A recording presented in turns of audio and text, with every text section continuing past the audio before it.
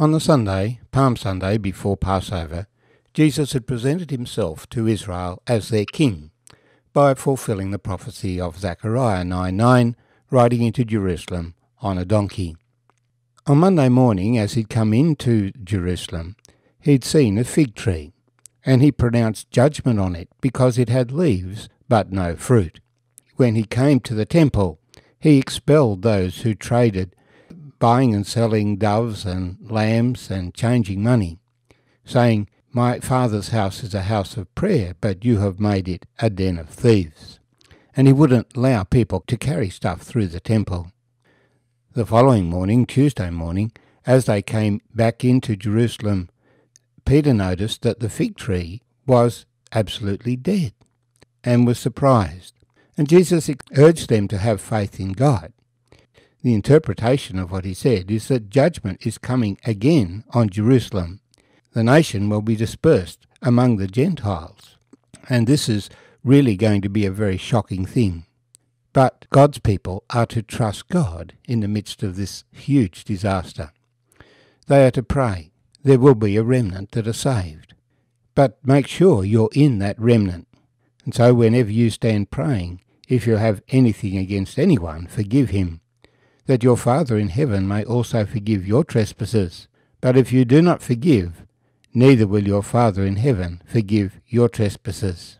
And of course, if you're not forgiven, you do not bear fruit, and you'll be judged as the fig tree was.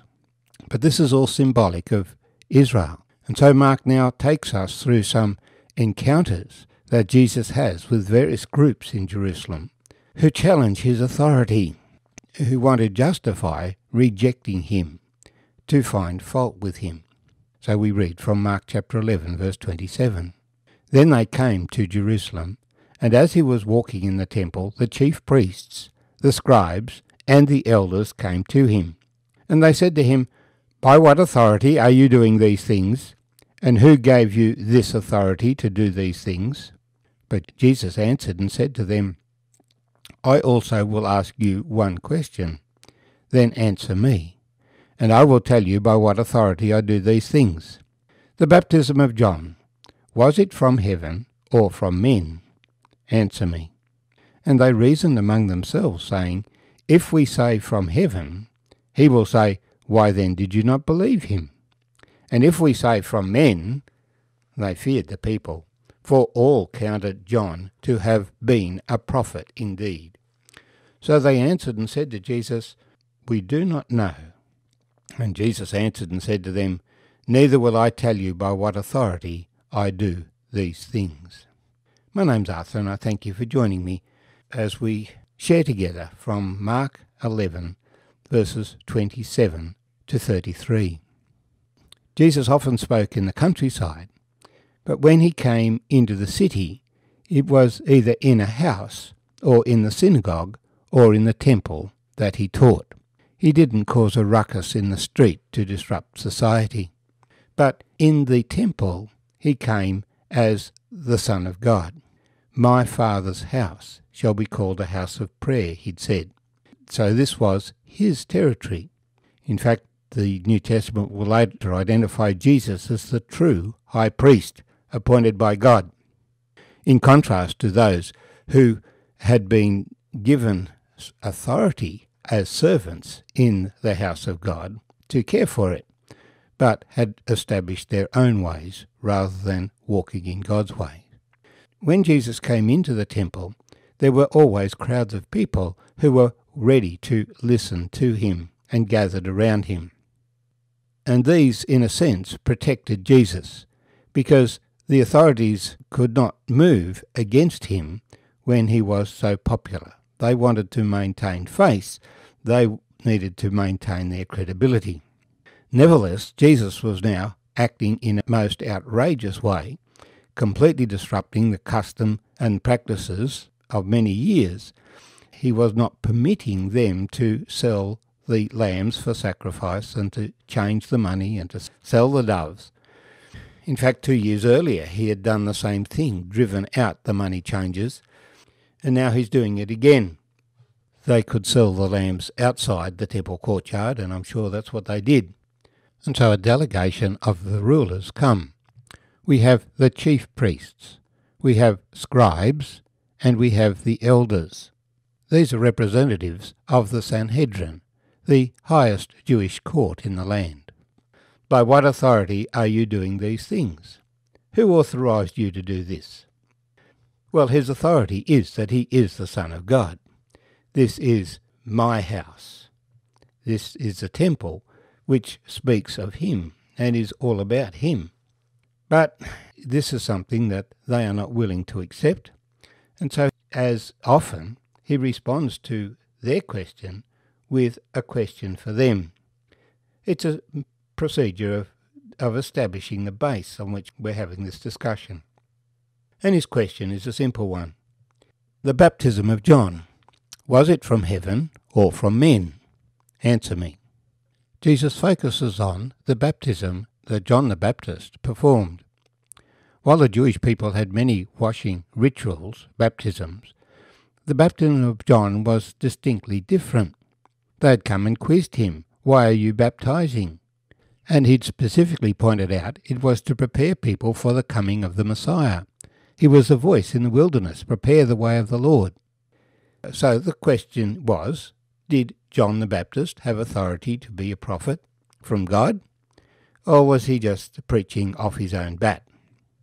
This was a question that the authorities would not answer, because everyone recognized John was a prophet. In fact, 20 years later, we find John still had his disciples over in Ephesus. John had had a huge impact on the Jewish nation, preparing them for the Messiah a lot of the anticipation of the Messiah was because John had stirred it up. So, if they were to say John did not come from God, then the crowd would laugh at them, because everyone knew that John was from God. But John hadn't received their authority. He'd spoken out in the wilderness. But he was born of a priestly family. His father had served in the temple. And so he was one of them, but his preaching didn't have their authority. He'd grown up in the wilderness. He hadn't learned in their schools. So if John had authority, surely Jesus could claim authority as well, particularly because John had pointed to Jesus as the Messiah. They discussed their answer. If we say John had his authority from heaven, Jesus will say, Well, why didn't you believe him? Because John had pointed to Jesus, the Lamb of God that takes away the sin of the world. This is the Christ, the Messiah. When Jesus was baptized by John, John saw the Holy Spirit descending upon him. And from after that date, John proclaimed that Jesus was the Messiah. He must increase, I must decrease. And the Pharisees had witnessed John's teaching. The scribes and chief priests and lawyers knew what John taught, and John had given his blessing on Jesus. So they couldn't say they couldn't say John had no authority from God, but they couldn't say he had authority from God either because they claimed to be following God's way. It was a refusal to answer the question. So Jesus says, Well, neither will I tell you by what authority I do these things. We have authority from God to preach the gospel, but that authority is not always recognized by others. And if we are challenged, we need to respond in a way similar to the way Jesus responded. In our society, do we have freedom of religion? Do we have freedom of speech? Are we able to express the things that we sincerely believe? It's claimed to be a right that we have in our society. It's a foundational principle that people have the right to worship God as they understand and know Him. Now, that's not a permission to, but it definitely is a permission to declare the gospel. But there are those who do not want to hear that message and will seek to silence it. And this is what the authorities were doing with Jesus.